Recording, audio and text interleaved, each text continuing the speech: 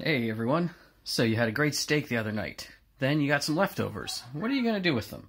Well, this is based on an old recipe that my ex Christina and her mom used to make. They would take usually kind of flank steak or something, and frankly, if you've got one tiny bowl and you've got a frying pan and a couple, like literally two ingredients, you can knock out something delicious. What they would do is they would add soy sauce and essentially cornstarch just to get the soy sauce kind of going and kind of a little bit clingy. Dredge the meat, throw it in a hot pan, just a couple seconds aside, and you're there. Now, cornstarch obviously works really well for this purpose, but it's pretty carby. Something Tara and I keep around, something Tara and I keep around is powdered egg compound. We use it in a variety of sort of, well, food experiments, usually of the breakfast variety, except we don't really eat breakfast anymore. And the other day, I gave this a try, and frankly, it's not a bad binder. This will work better than you might think, and then, once you get yourself a little bit of a soy sort of powder compound, it's a quick, quick turnover in the pan. All right, so here you go. This is this is really all the mise en place you need. You've got your steak that you either broke down after you were done sous vide in it, or maybe you just bought it right from the store. You can do this with cold steak. It doesn't have to be pre-cooked. This is your soy sauce sort of dredge. Again, we're using powdered eggs instead of cornstarch as a binder. And you want it, you know, you want it a little runny. You want it so that it wouldn't be able to be spooned up with a fork. You would need a, a spoon or something. You don't want a ton of it to stick to the meat. It's going to get on there, no worries. Your pan is getting a little warm. If you care to, a little a little drizzle of oil will work not necessary. This this will work in a dry pan as well.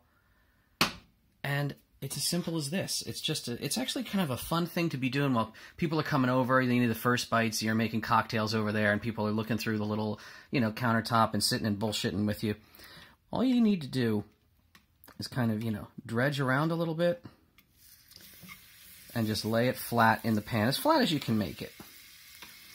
Get the next one and they don't stay in there more than a few seconds per side.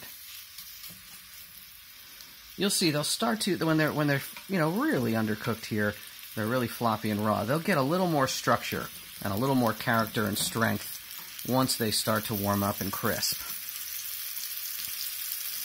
Once you've got enough, and a small pan is nice because you don't have to work with too much.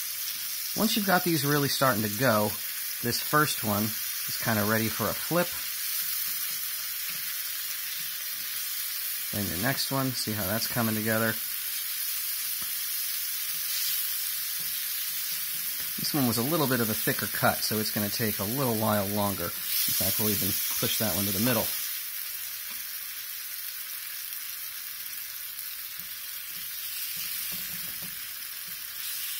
These top ones, they're definitely done. Yeah, look at that. Beautiful. Excellent. Oh my god. So perfect. That's what we want to see. How's this one doing? We're basically there with that as well.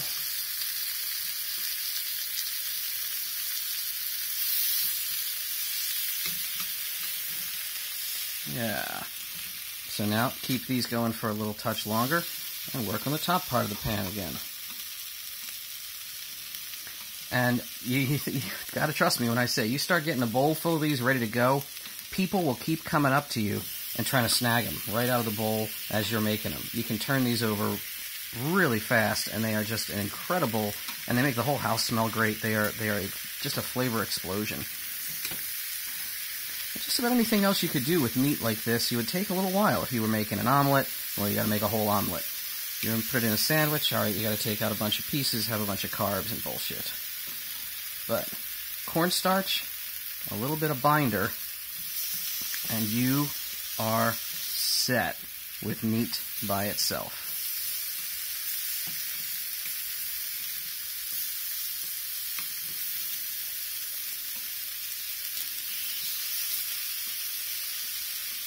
Oh, I forgot about that little piece in there. No way. You get eaten too.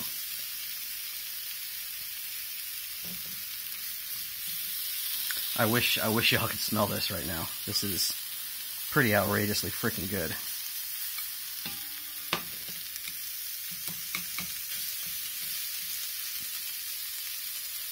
God, yes.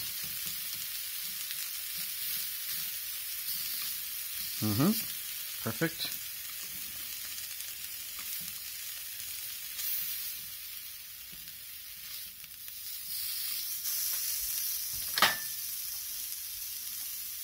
I literally have a uh, TOOOL meeting of the management and the board in a couple minutes from now, and I'm going to be able to actually have proper dinner in front of me and be happy while I'm on that phone call.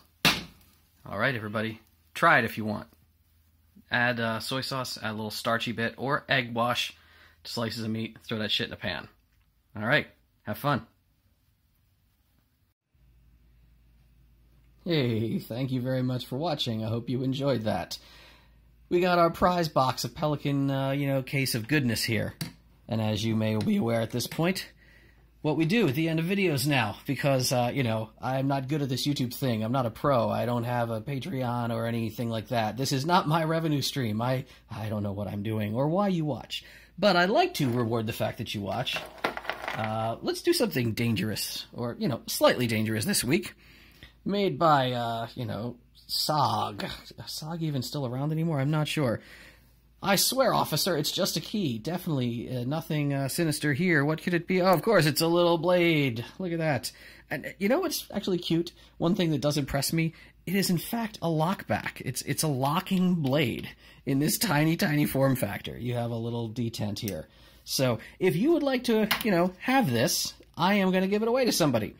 As we do each week, you know, we pick a, a, food or a drink that I happen to like, and if you leave a comment with that word in the comments, well, I will choose one of you. Or this, uh, you know, internet uh, randomizer uh, scripty thing will choose one of you.